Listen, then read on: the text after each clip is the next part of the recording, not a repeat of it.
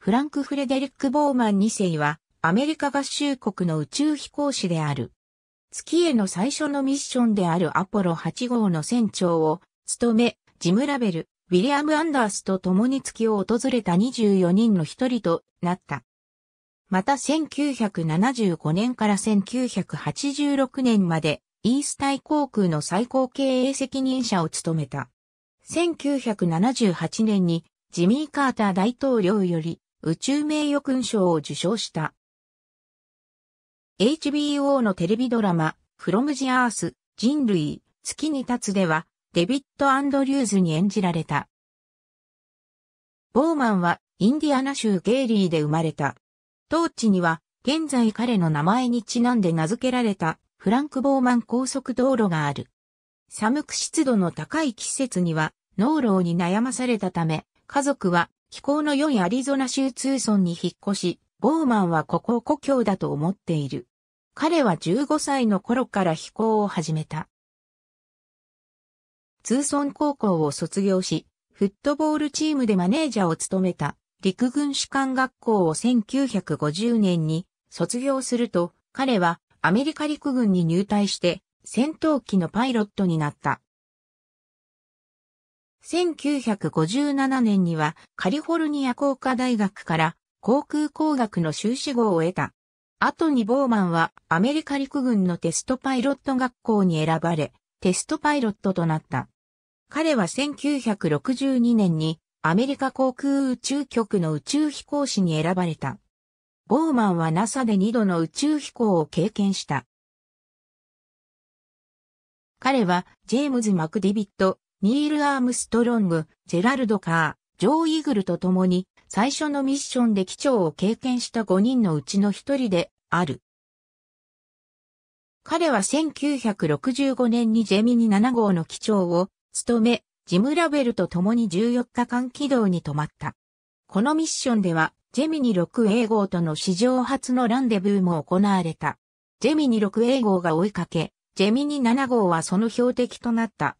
ランデブーに成功すると、お互いの周りを回って画像や映像を撮影した。2機の宇宙船は0.3メートルの距離まで近づいた。ボーマンはガス・グリソム、エドワード・ホワイト、ロジャー・チャーフィーの3人が死亡したアポロ1号の訓練中の事故を調査する AS-204 レビュー委員会で宇宙飛行士として唯一の委員を務めた。1967年4月、委員会在籍中に、ボーマンはアメリカ合衆国上院がアポロ1号の事故の調査を始める前に証言を行う5人の宇宙飛行士の一人に選ばれた。彼の供述書は、アポロ計画が今後も安全に飛行できることを議会に納得させるのに役立った。ボーマンの2度目の飛行は、1968年12月でアポロ8号の機長としてであり、ジム・ラベル、ウィリアム・アンダースと共に宇宙へ行った。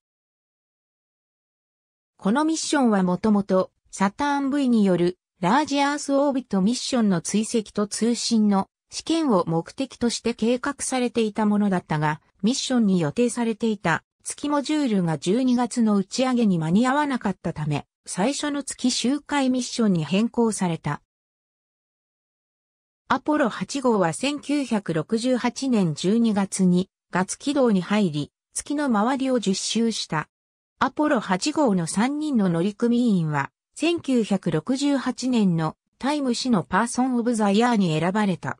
このミッションは、1969年7月20日のアポロ11号による月面着陸への契機になった。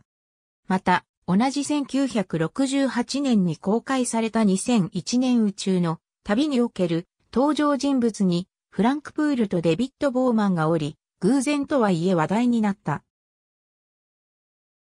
1970年に NASA とアメリカ空軍を退職すると、ボーマンは当時アメリカの大手、国内線航空会社だったイースタン航空の顧問になり、1975年12月に CEO に昇格した。